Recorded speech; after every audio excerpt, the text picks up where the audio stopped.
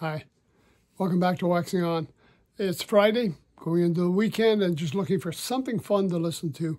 And I was going through a stack of vinyl, and I came across an album I haven't listened to in ages.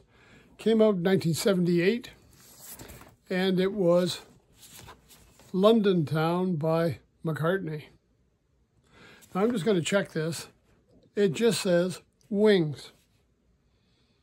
Now, this one was, I mean, he'd already released the big McCartney one. We had Ram.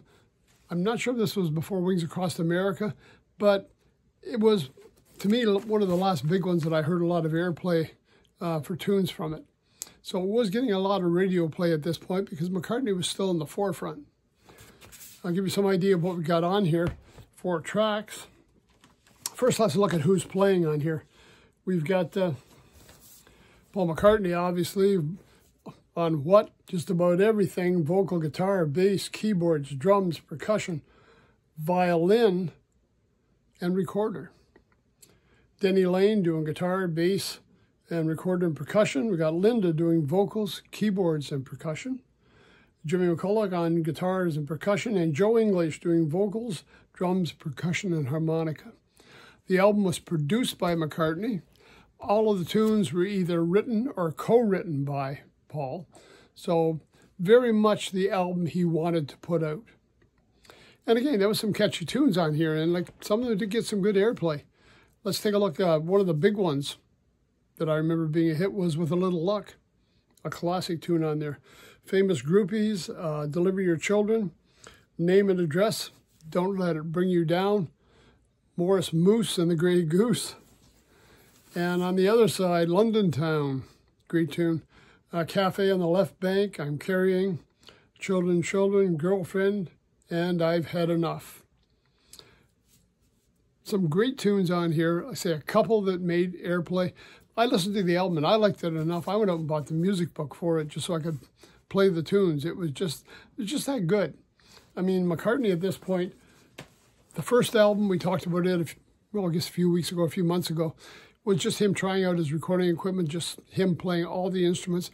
At this point, he's added a few players. He hasn't got the full-blown wings going at this stage, but he's stretching out, doing some experimenting, finding some new stuff. Now, album, sure, that's the way to go. Picture of the main players here. We got Paul and Linda photography of the album, obviously Linda McCartney doing some of the photography, but there's also photographs included by a guy named Henry Diltz. And I don't know if that name sounds familiar to you or not, but if it doesn't, look it up. He was one of the classic photographers of the rock era. Uh, back in the late 60s, 70s, he was photographing everybody.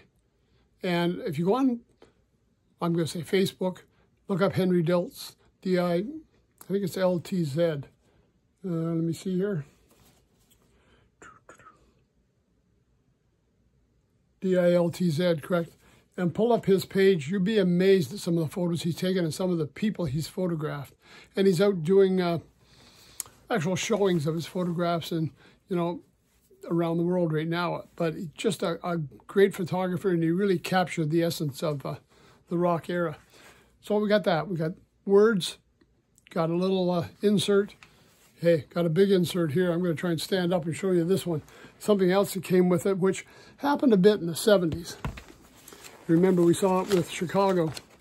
I'm not probably even going to get this all in, man. It's a gigantic poster. Came with the album. Well, we're going to get in there. There we go. Got Paul, Linda, and Denny. And on the other side of this, it's even more two-sided poster, not just a blank white page, but all kinds of great photographs. Yeah, don't get this with streaming, baby. This is what you get when you buy the hard copies. But you get the idea of what I'm looking at here. There's just some fantastic uh, photos here. It's a great little keepsake. I got the photos to enjoy. I've got the words to sing along with, and I got some great music spinning on the turntable. I mean, who could ask for more? And again, McCartney, I enjoy all the Beatles. I enjoy what Ringo puts out. I enjoyed what John Lennon put out. I liked what George Harrison did. We did an episode here on All Things Must Pass. Surprisingly, very few of you watch that, so go back and check it out. But I'd have to say, for me, the music of McCartney resonated the most. It was the most accessible. It was the most lighthearted and fun. It was really the music I went to more often. And I'll tell you the truth, it was either him or Ringo. That's who I most often would listen to at the time. And this one was, I don't want to say a forgotten about album because it, it did churn out some hits, but it's not one a lot of people think of.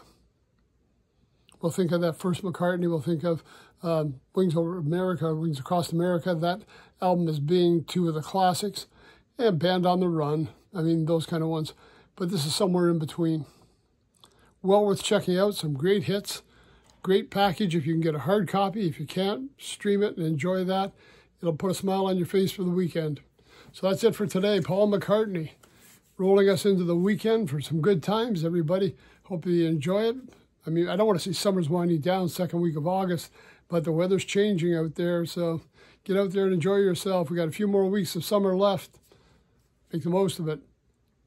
Till next week, take care, stay safe. We'll talk to you then. And if you get a chance, check out Hot Wax. I'll try and do a couple more of those in there to let you know what I'm listening to on the days we're not doing this. And you might want to check those out.